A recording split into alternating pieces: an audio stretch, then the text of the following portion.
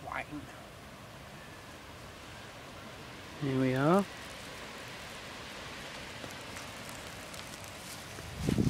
Cooking some pork on the barbie, mate. it's uh, it's three o'clock in the afternoon. I just kind of got up ish, so I'm gonna go for a run in a bit. Burn some CDs. What is it today? The seventh. Eight. The eighth. So we're probably gonna stay here a couple more days, and then uh, make a few more hundred dollars. If we can get 400 more euros uh, in the bank, then we do that.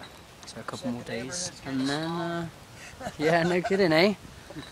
we out, we, I think we outnumber uh, uh, non the musician area.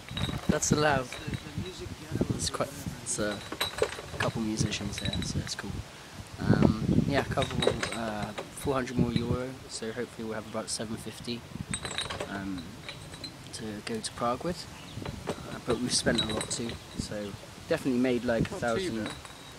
Definitely probably made like 800 euros at least. Like thinking of what we spent.